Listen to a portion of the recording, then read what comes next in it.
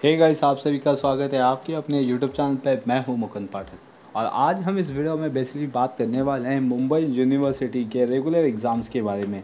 तो basically guys मैं आपको बता दूँ कि मुंबई यूनिवर्सिटी ने कॉलेजेस को ये बोला है कि आपको बच्चों की हेल्प करनी है by providing the question bank और पेपर पैटर्न जिससे बच्चे अपने एग्ज़ाम की प्रिपरेशन बहुत ही अच्छे तरीके से और इजी तरीके से कर सके। क्योंकि दो साल का जो सिचुएशन था गाइस जैसे कि कोविड और लॉकडाउन इसकी वजह से बहुत सारी चेंजेस आ चुकी है एजुकेशन के अंदर। यानी कि जो बच्चे एजुकेशन को लेकर सीरियसनेस होते थे, लेकिन अब इस तरीके से जो दो साल के लॉकडाउन या कोविड के चक्कर में फाइनेंशियल कंडीशन लॉस होने के बाद अब जो बच्चे लोग हैं, वो बेसिकली फोकस कर रहे हैं अपने फाइनेंशियल कंडीशन को प्रॉपर करने के लिए। तो उनका एजुकेशन की तरफ़ से इतना कोई इंटरेस्ट नहीं रहा। ठीक है इंटरेस्ट है, लेकिन वो फाइनेंशियल क्राइसिस होने की वजह से बहुत सारी प्रॉब्लम्स में हैं। राइट तो इसके वजह से मुंबई यूनिवर्सिटी ने कॉलेजेस को बोला है कि आप बच्चों की हेल्प करें।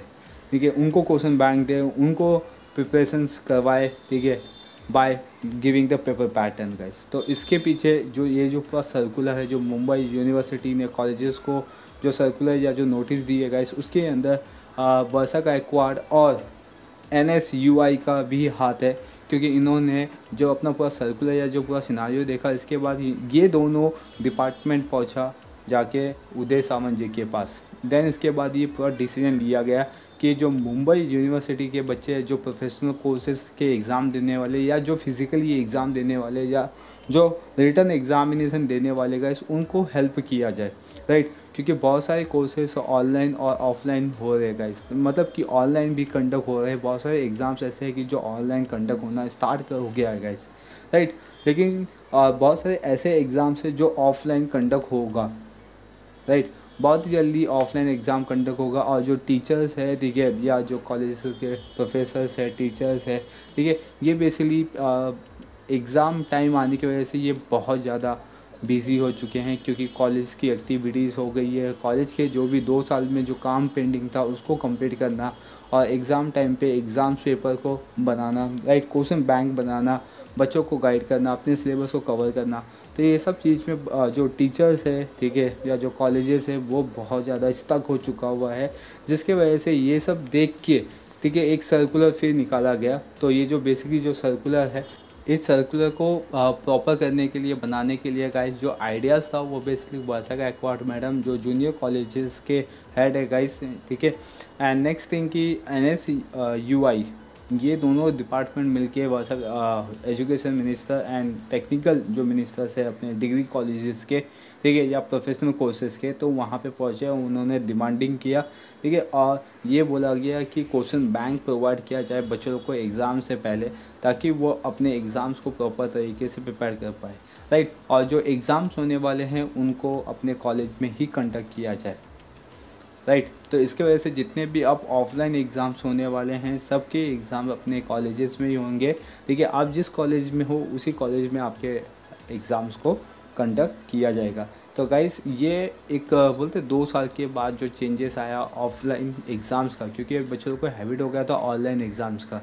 राइट और जिसकी वजह से एजुकेशन भी प्रॉपर नहीं हो पाता था, इसकी वजह से और सिचुएशन ऐसी थी कि ऑफलाइन एग्ज़ाम कंडक्ट ना किया जाए। ठीक है तो इसलिए सब लोग ऑनलाइन एग्ज़ाम कंडक्ट किया जाता है। लेकिन आफ्टर टू ईयर्स ठीक है, सबसे बड़ा गैप है गाइस ठीक है टू ईयर्स का पूरा अकेडमिक ईयर ख़त्म होने पे आपका रिटर्न एग्ज़ामिनेशन या फ़िज़िकल एग्ज़ामिनेशन कंडक्ट किया जा रहा है। तो इसकी वजह से बहुत सारी प्रॉब्लम्स हो सकती है राइट तो अभी बहुत से कॉलेजेस में बेसिकली एग्ज़ाम भी चालू कर दिया गया। ऑफलाइन बेसिस में एग्ज़ाम को चालू कर दिया गया स्टार्ट कर दिया गया। जैसे कि जो एफ़ आई के है तो उनके भी एग्ज़ाम्स क्या है ऑफलाइन होने वाले थे और बहुत सारे कॉलेज में ऑफलाइन स्टार्ट भी कर दिया गया। तो इसकी वजह से अभी बच्चों को प्रॉब्लम ये आ रही है कि उन्होंने दो साल तक कोई पढ़ाई नहीं की थी और सडनली उनको पढ़ाई करना पड़ रहा है। तो you know about the situation scenarios क्या हो सकता है कि अगर हम दो साल के बाद सीधा बुक उठा के पढ़ाई करते हैं तो दैट इज़ मीन्स हमें कोई भी कॉन्सेप्ट नहीं समझ में आएगा। और नेक्स्ट थिंग कि जो कॉलेजेस के लेक्चर्स थे, वो ऑनलाइन थे। तो इसकी वजह से जो कॉन्सेप्ट था, वो माइंड में आया ही नहीं। ठीक है? वो एक परसेंट भी माइंड में नहीं आया, लेकिन अब आपको क्या करना है? ऑफलाइन एग्ज़ाम देना है हंड्रेड परसेंट तो इसके वजह से बच्चे बहुत ज़्यादा कन्फ्यूज़ है अपनी स्टडीज़ को लेकर ठीक है? अपने एग्ज़ाम्स को लेकर। तो इसीलिए ये जो कन्फ्यूज़न है या डाउट है तो ये सबको दूर करने के लिए मुंबई यूनिवर्सिटी ने या हम ऐसा बोल सकते हैं कि जो higher education and technical ministers है, उदय सावंत जी, उन्होंने कॉलेजेस को बोल दिया है कि आपको क्या करना है क्वेश्चन बैंक प्रोवाइड करना है गाइस क्वेश्चन बैंक बनाओ क्वेश्चन बैंक प्रोवाइड करो और पेपर पैटर्न रिलीज़ करो, बच्चों को बताओ किस तरीके से आपके एग्ज़ाम कंडक्ट होंगे, ठीक है? और इसके अंदर ये भी रखा गया है कि आपके टू आवर्स के ऑफलाइन होंगे वन आवर्स के ऑनलाइन एग्ज़ाम्स होंगे, ठीक है? टू आवर्स में आपका डिस्क्रिप्टिव होगा वन आवर्स में आपका ऑब्जेक्टिव्स होगा राइट तो इस तरीके से आपका जो पेपर पैटर्न है, इस ईयर के लिए ओनली ठीक है? क्योंकि इसके बाद क्या पेपर पैटर्न होगा, क्या सिनारियोस होगा, वो हम बाद में डिस्कस करेंगे। जैसे जैसे कोई अपडेट आते रहेगा गाइस मुंबई यूनिवर्सिटी का, मैं आपको अपडेट देता रहूँगा। अगर आप चैनल पे पहली बार या चैनल को सब्सक्राइब नहीं किए हो तो चैनल को भी सब्सक्राइब कर लीजिए, बेल आइकन प्रेस कर लीजिए, ताकि आपको नोटिफिकेशन मिलता रहेगा। तो चलिए गाइस यहाँ पे मैं आपको पहले बता दूँ कि जो फाइनल ईयर के बच्चे हैं, जैसे कि बीएमएस हो गए एमकॉम हो गए या अदर्स हो गए, ठीक है? तो भले वो मास्टर कोर्सेज क्यों ना हो दो गाइस उन सब के लिए, ठीक है? आपके लिए एक अपॉर्चुनिटी फिर से है कि आपको क्वेश्चन बैंक मिल जाएगा। कॉलेज की तरफ़ से, क्योंकि कॉलेज को बोला गया है हेल्प करने के लिए क्वेश्चन बैंक प्रोवाइड करने के लिए बच्चों लोग को राइट अगर कोई कॉलेजेस नहीं करता है तो आप अपनी तरफ़ से एक्शन ले सकते हो। देखिए, अपनी जो बातें हैं उदय सावंत जी तक पहुँचा सकते हो। एंड नेक्स्ट थिंग गाइस इससे पहले भी फैप मंथ में मुंबई यूनिवर्सिटी से एक सर्कुलर आया था, जो कि मैं अपने वीडियोस में इसको डिस्कस कर चुका हूँ गाइस कि जो रेगुलर एग्ज़ाम थे ठीक है भले वो बी कॉम हो दो आर्ट्स हो दो या साइंस हो दो गाइस अगर जो second year sorry first year के सेकेंड सैम दे रहे थे गाइस उनके एग्ज़ाम ऑफलाइन होने वाले थे तो उनको भी क्वेश्चन बैंक प्रोवाइड हो जाना चाहिए, लेकिन बहुत सारे कॉलेजेस एग्ज़ाम स्टार्ट कर दिए हैं। ऑलमोस्ट दो तीन एग्ज़ाम बहुत सारे कॉलेज के ख़त्म भी हो गए, या तो बहुत सारे कॉलेज ने अपने एग्ज़ाम को ख़त्म भी कर दिया हुआ है राइट नेक्स्ट थिंग है गाइस इसके अंदर कि ए टी के टी या बैकलॉग जो बच्चे हैं, ठीक है, जिसके अंदर फ़र्स्ट थर्ड फिफ्थ ठीक है? As well as fourth semester ये ऑनलाइन कंडक्ट होने वाला है गाइस बहुत सारे कॉलेज में सैम फोर्थ भी ख़त्म हो चुके हैं. Backlog AT K T first second and fifth semester भी ख़त्म हो चुका है गाइस ठीक है? और बहुत सारे कॉलेज में पेंडिंग भी है. लेकिन जो आपके क्वेश्चन बैंक थे या जो आपके पेपर पैटर्न थे गाइस वो सिर्फ़ ऑफलाइन बच्चों लोग के लिए ही था. ठीक है? अगर आप ऑफलाइन एग्ज़ाम दे क्योंकि ये एक सिनारियो बन चुका है अपने, ठीक है?